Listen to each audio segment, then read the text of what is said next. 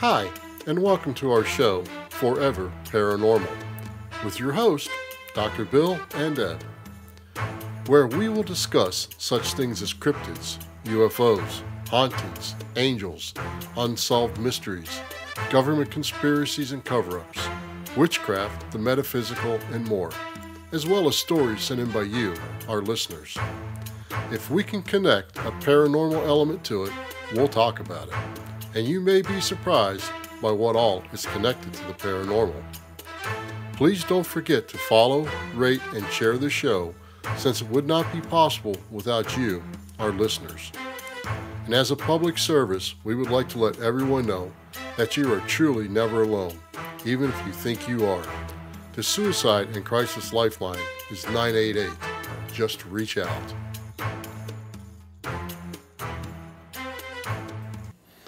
Hi, everyone, and welcome to this episode where we are going to discuss the possibility of past lives and reincarnation. Hi, Deb. Are you ready to start discussing this subject? Hi, how are you? I'm great. You? Good. How's the crow situation? I think it's getting a little bit better. Good. Oh. Are you ready to start discussing this? Sure. I wasn't going to let you get away without answering that question. You're famous for answering a question with a question. This can be looked at from several angles, including quantum physics, universal consciousness, and multiple religions. You have to remember that everything is energy, and the amount of energy in the universe never changes. It never ends, and it never makes more. It just transforms from one type of energy to another, and this energy could possibly include what we refer to as a soul. How does quantum physics play into this subject? Well, in quantum physics, you have to remember that in order for it to work and the string theory to work, there has to be a minimum of 11 parallel universes. So it could be that reincarnation is going from one universe to another or back. So quantum physics is part of the study.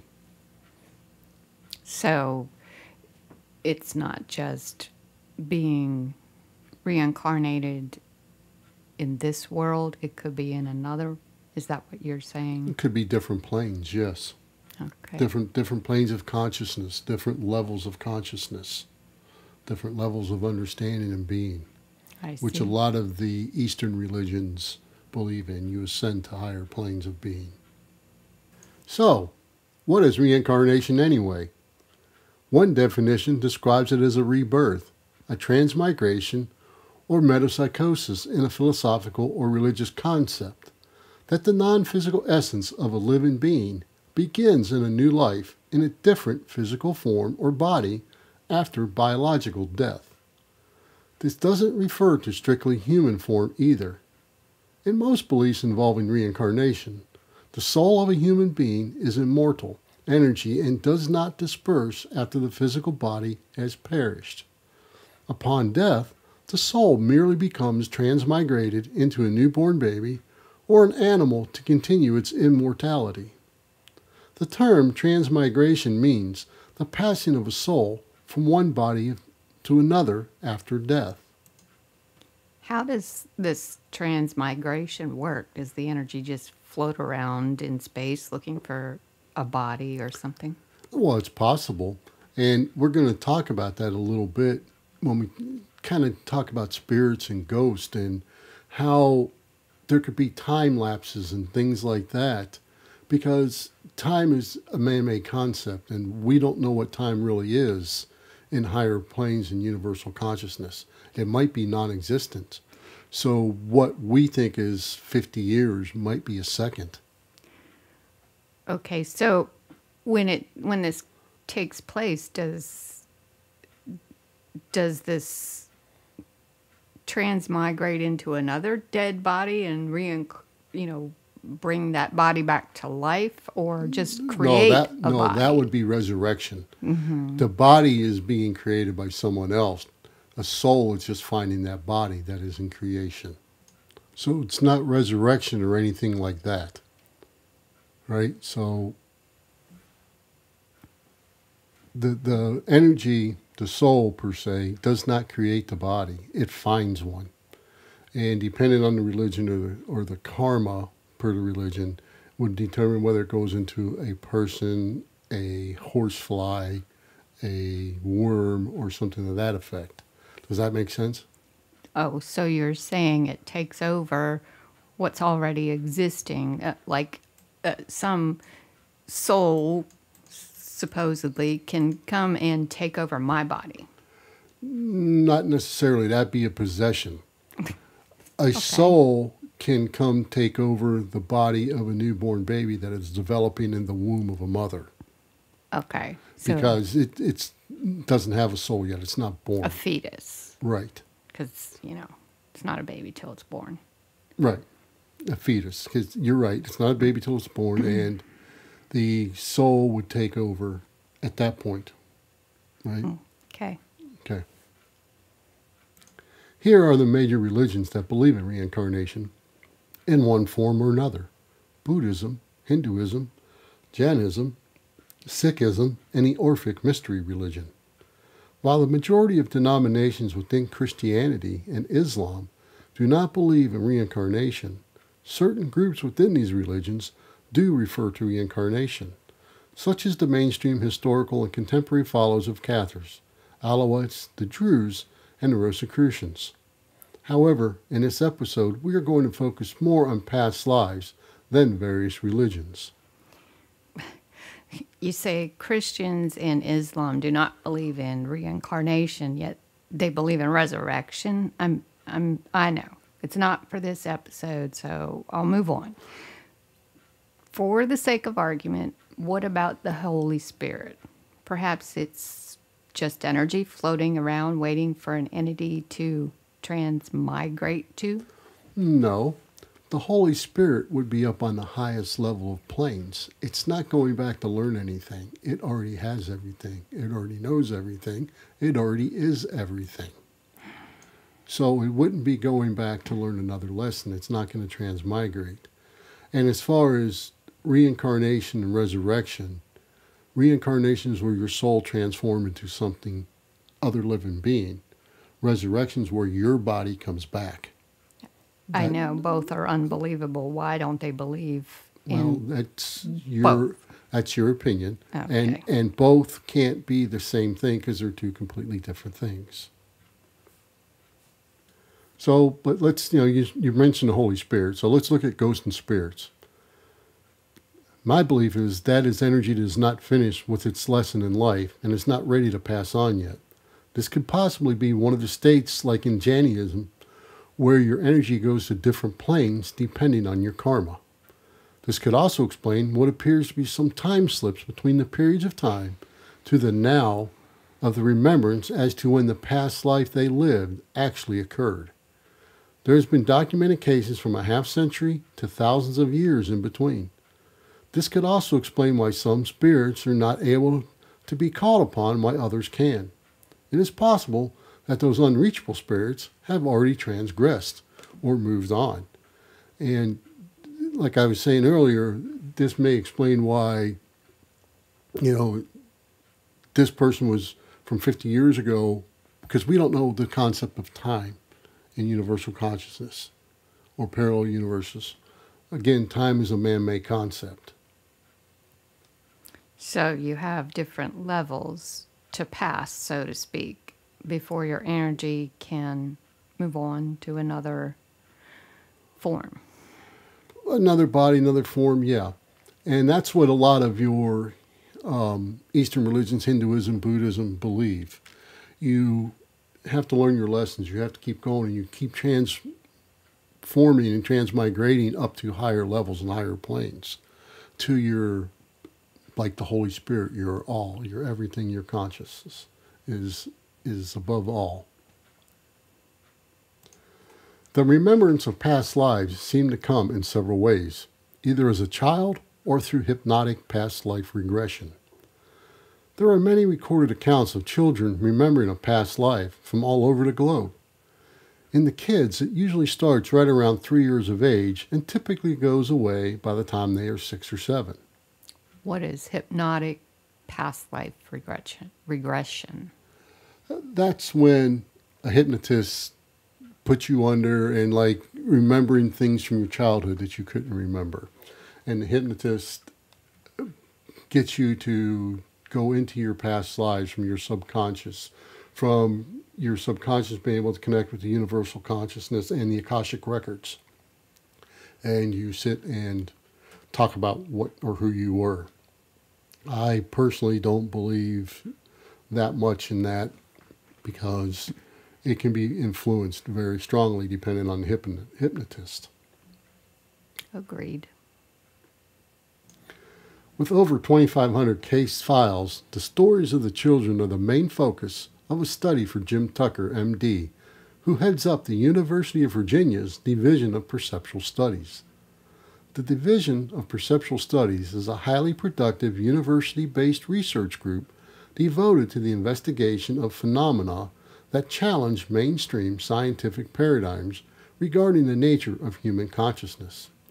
The researchers objectively document and carefully analyze data collected regarding extraordinary human experiences to prove through science. Probably two of the most publicized stories from UVA and Dr. Tucker are that of James Leininger and Ryan Hammonds, and are included in his book, Return to Life. Soon after little James Leininger's second birthday, he started having trouble with horrible nightmares about a fatal airplane crash and kept waking up yelling, Airplane crash, plane on fire, little man can't get out. He also knew details about World War II aircraft that it would seem impossible for a toddler to know. For instance, when his mother Andrea referred to an object in the bottom of a toy plane as a bomb, James corrected her by saying it was a drop tank. Another time, he and his parents were watching a History Channel documentary, and the narrator called a Japanese plane a Zero. James insisted that it was a Tony. In both cases, he was right. The boy said that he had also been named James in his previous life and that he'd flown off a ship named the Natoma. The Leiningers discovered a World War II aircraft carrier called the USS Natoma Bay. In its squadron was a pilot named James Huston, who had been killed in action over the Pacific. In other words, it seems little boy James had experienced memories of a past life. Dr. Tucker goes through a lot of explanation and periods of time in his book on this.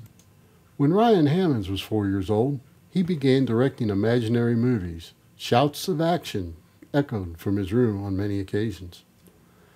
But the play became a concern for Ryan's parents when he began waking up in the middle of the night screaming and clutching his chest, saying he dreamed his heart exploded when he was in Hollywood.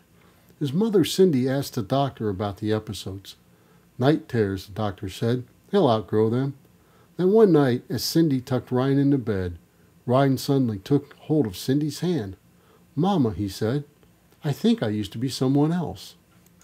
He said he remembered being in a big white house in a swimming pool. It was in Hollywood, many miles from his Oklahoma home.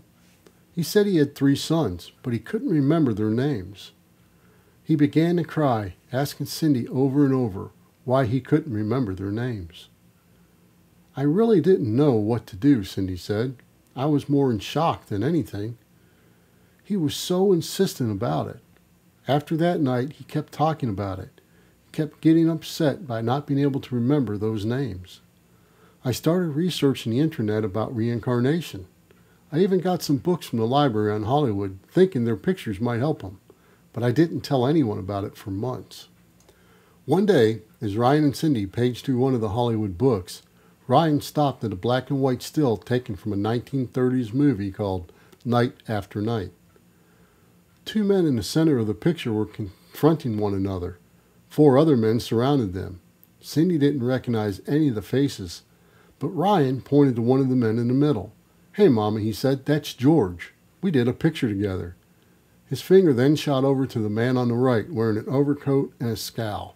That guy's me. I found me. I'm Marty Martin. Let's take a look at some pretty famous cases of reincarnation. Born in Seattle in 1991, Sonam Wangdu was only two years old when he realized he was actually the fourth reincarnation of the original Tibetan Lama Dezing Rinpoche I.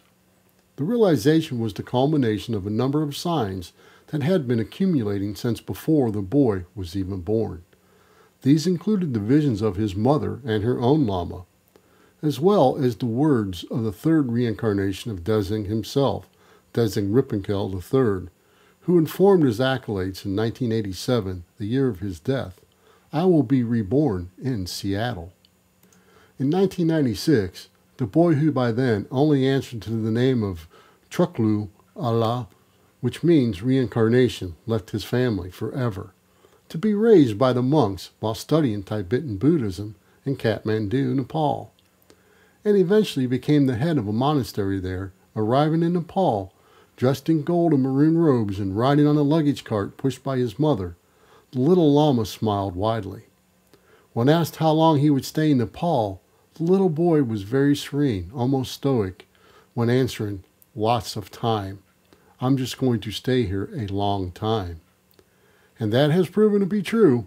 The boy is now in his 24th year of life as the fourth reincarnation of Dezin Rinpoche, the third. The first, actually. Sorry about that. So now let's talk about a famous pianist, Vladimir Levinsky. He was born David Seacombe in England in the 1930s. And he had such an innate gift for playing the piano, even as a young child, that he was able to teach himself to be a concert pianist. When he was asked about lessons, he remarked, I have no time for them. I have a technique my own. He was so gifted, and at such a young age, that he came to recognize himself as the reincarnation of Franz Liszt, the German composer and pianist. By age 21, he was performing for packed concert halls as known as the Paganini of the piano. Unfortunately, Levinsky's interest in Liszt at times came to border on obsession, such as when he was playing a concert on January 23, 1952, and he stopped playing halfway through to talk about Liszt. The audience was disappointed, but Levinsky, for his part, felt the concert was a tremendous success, in part because he experienced it only as the reincarnation of the renowned composer and performer Liszt could. This is another well documented one about Shanti Devi. Born in 1926 in Delhi, India, Shanti Devi was four years old when she began telling her parents that her home wasn't in Delhi. It was 90 miles away in Mathura, where she said her husband lived. She recounted memories of having been married and later of dying from complications from childbirth. She described what her husband looked like light skinned, a wart on his cheek, reading glasses, and where his shop was located. Eventually, she revealed her past persona's husband's name, Pandit Kendarth Chobi. I know I butchered that, but sorry and it turned out that the man existed. He had lost his wife, Ludji, by from complications with the C-section she had undergone while giving birth to their son, Navneet Lal. What's more, Shanti recognized that both Pandit and Navneet on sight. There's been a couple TV documentaries about that one too. A couple shows have covered that, and uh, so that that one's another well documented one. So let's move on to my personal favorite, which is of Om Seti. Dorothy Eady was born in the Blackheath area of London on January 6, 1904. When she was three years old, she fell down the stairs at home. The family doctor determined her to be dead. But an hour later, she was fine. After that, she began to have dreams of living in a large building adorned with columns. She said frequently that she wanted to go home. And when she was four, during a trip to the British Museum, she declared that her home was Egypt. She actually moved to Egypt in 1933 to be with her husband, who was Egyptian. And although the marriage ended two years later, she stayed put. She became a folklorist, a keeper of the Abydos temple of Seti, and a draughtswoman for the Department of Egypt Antiquities. And she believed that she had, in a past life, been a young woman named Bentrafast, an orphan who had been adopted by the temple of Kom el-Sultan near Abydos. I can't remember any ordinary life. So I think I must have been stuck in a temple, she told the New York Times in 1979. I have a vague memory of the processions, but I can remember an awful old killjoy of a high priest. She had famously deciphered ancient hieroglyphs and was able to break the code on some of the unknown types, reading them like a book. There was a lot of archaeologists that couldn't break those hieroglyphs, and she walked up to them and read them. And in 1987, several years after she died in 1981, it emerged that she also believed that in her past life she had been a lover of King Seti, who became pregnant. She said that she had died by suicide rather than reveal that the king had fathered a child with her. There does appear to be one common factor in past life memories, and that is the person in the past life died a tragic death, unexpected or violent manner. Not all of them, of course, but the vast majority of them. So, why was that one your favorite? Om Seti is my favorite because this is a young girl. Remember, Dr. Tucker talks about past life memories are usually in children, it's coming around about three and going away about six or seven. But this is a young girl who fell down the stairs and died. She was dead for an hour and then came back as Om Seti as she got older, she progressed into Om Seti and never went back to being Dorothy. She moved to Egypt, stayed there the rest of her life. She left her life as an English born child. Um, I think it's just fascinating that an hour later she was someone else after she was declared dead. All right, Deb. So I know we've heard a couple of your opinions on different things, and I respect those, and so does everyone else. But where do you stand on this subject? Uh, what, what is your opinion on this? Well, from my perspective, I can't understand how, first of all, children of the age of two, three, and four years old can even make connections that they're dreaming or thinking there's someone else from a past life or whatever. And I can't explain why people can remember things that happened to someone else in another life anyway. But I still hold true in my belief, my opinion, that we are born, we live, we die. That's it. It's sad, but logical to me. I understand that and I respect that. And you may be right. But let's talk about the children for a minute. Mm-hmm. I think, you know, in, in my research, one of the reasons that the children can remember these things is they just have dreams and they talk about their dreams, right? And they say that we don't remember our childhoods before five or six years old. That from the time we're toddlers up through that age group, we lose all that memory um, we, we don't have it. We don't retain it. So that might be when the spirit and the body are coming into its own and it's becoming the person we grow up to be. So that could be a possible explanation for that. But yeah. again, that's my opinion. But two and three years old can barely form sentences, let alone associate themselves with a past life. Say, come out and tell their parents, I lived another life. I don't know how a child that young can associate with that at I, all. I, think that's just or know it. the words. Most children can't, and most children don't know words like that, portals or sentences, or so. Most you're right. Most kids can't. So that's what gives it some credibility with the ones that can that say they remember a past life. They've got a greater vocabulary. They've got a greater understanding of the language whether it's English or Indian or whatever, but they do. Hmm. So, what about you, folks? Our contact info is in the show notes, and we'd love to hear what you think about this subject. And as always, we couldn't do this without you, so thanks for listening. And until next time, we discuss another tale yet to be told. Thank you for listening, and remember to like and share the show. We would also appreciate a five star rating wherever possible to help new listeners find the show. We welcome all questions or comments you may have about this or any other episode, and our contact information can be found in the show notes of this episode. You can also follow us at foreverparanormal.com. And if you'd like to support us, you can buy me a coffee at buymeacoffee.com forward slash forever paranormal. The links to these are also in the show notes of this episode.